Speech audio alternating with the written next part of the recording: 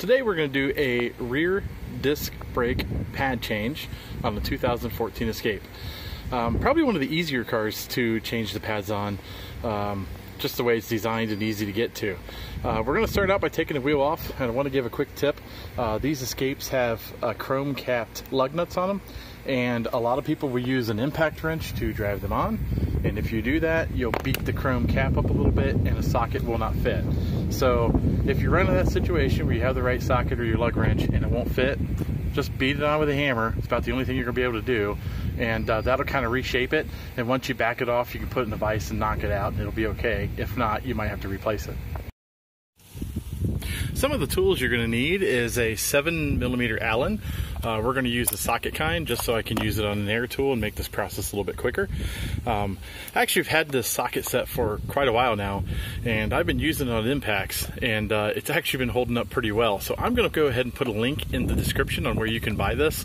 It's really cheap, and uh, if you have one of these in your toolbox, it's going to make a lot of jobs a whole lot easier.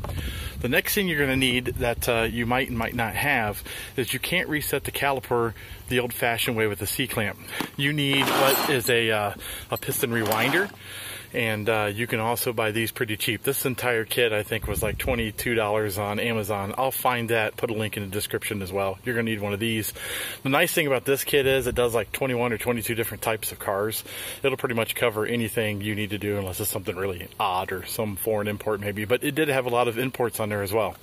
You're gonna need a new set of pads. Uh, I like to go middle of the road on those. I don't like to buy the really high end because I think sometimes they squeak and I don't like to buy the cheap because I think they wear out. Um, as far as other other tools. Um, I like a little dog dish there to hold some of the uh, parts and pieces I'm going to pull off. I had a punch because as you can see I had one of the lug nuts stuck and I had to beat it out. Um, and again, that's just common with these cars. They swell sometimes, uh, but the majority of the issues are people use an impact to put these lugs on. It beats them up a little bit and you can't get a, a socket back on or off of them. Might need a hammer. I highly doubt it. Again, the only reason the hammer is laying here was so I could beat the um, so or the uh, lug nuts out of the socket. Uh, you will need something to pry on, uh, possibly a long screwdriver, which is what we're going to use today. And you'll need some type of grease. It really doesn't matter what kind of grease. I just buy a general all-purpose grease. So let's go ahead and get started. So the way these are designed are pretty simple. There's basically the slide pins, which are here, and they have a, a press cap on them, which you can pull off typically with your fingers. This one's a little tighter. It's just a dust cover. And you're going to use your Allen wrench down inside this hole because the slide is threaded and it has an Allen, Allen top. It's a 7 millimeter Allen. And you're going to unbolt this one and you'll unbolt the other holder down here on the bottom and this whole shoe will rock off. And uh, we'll do that here in a second. But you want to be careful that you don't tug on any of the brake lines because these brake lines, this car is pretty new, they're not very brittle, but uh, still you want to be careful not to pull on them or kink or bend them. And the older these get, the more brittle they are. Uh, so just be careful not to not to torque on the lines too bad. So let's go ahead and get that off. So I went ahead and backed out one of these slides, but I just want to show you the top. It's just an Allen, is all it is, seven millimeter, and uh, that's what holds this bracket on. So you pull both these out, this thing should fall right off after you get those slides out, or maybe even before, you want to pop this little spring retainer off. That's what you're going to need the screwdriver for. It's pretty simple. You just put a screwdriver down in there and you just pry the clip off, and it'll it'll pop right out of there. Not a big deal. Of course, this one's going to make it a big deal. But as you can see, you just kind of pop it out and do the same with the bottom down here, and then just put this clip aside. Now, if you're lucky, you'll be able to pull this shoe holder off with your hands. And if not, just stick a, a screwdriver down here and, and, and, pry it back and it'll come off. I think we're going to get lucky here. Nope, we might have to use a screwdriver. We're just going to take a screwdriver in there and just kind of gently tug on it. And now it's off. And now we're going to pull the brake pads off and we're going to reset the caliper. The pads just lay in there. So once you pull that shoe holder off, they just come right out like this and uh, you just pull them out of there, set them aside. You can see we had a little bit of meat left, but uh, we needed to replace these pads. They was getting pretty worn.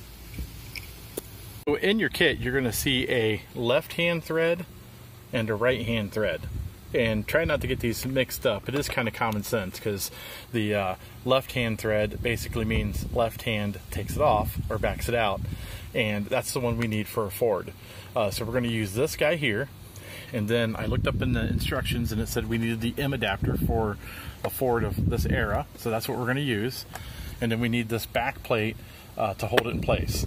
So we'll show you how all this gets put together. You can see the adapter plate that was M for Ford. Huh, you would have thought they would have used F, but they did not.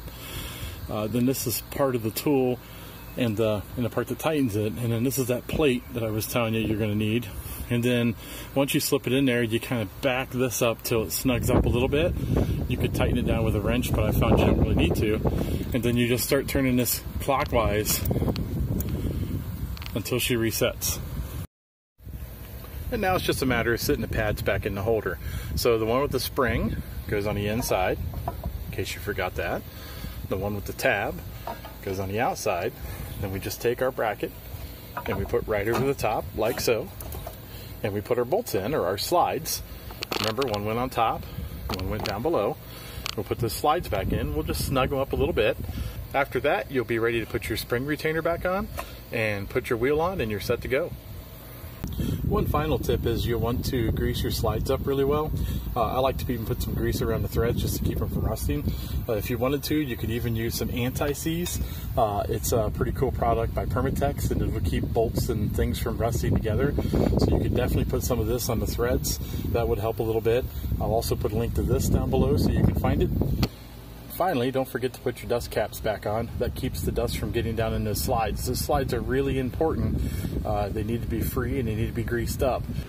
After you get the wheels on and the lug nuts tightened out, you want to get back in your car and keep it in park, start it up, and press the brake pedal a few times to reset those calipers.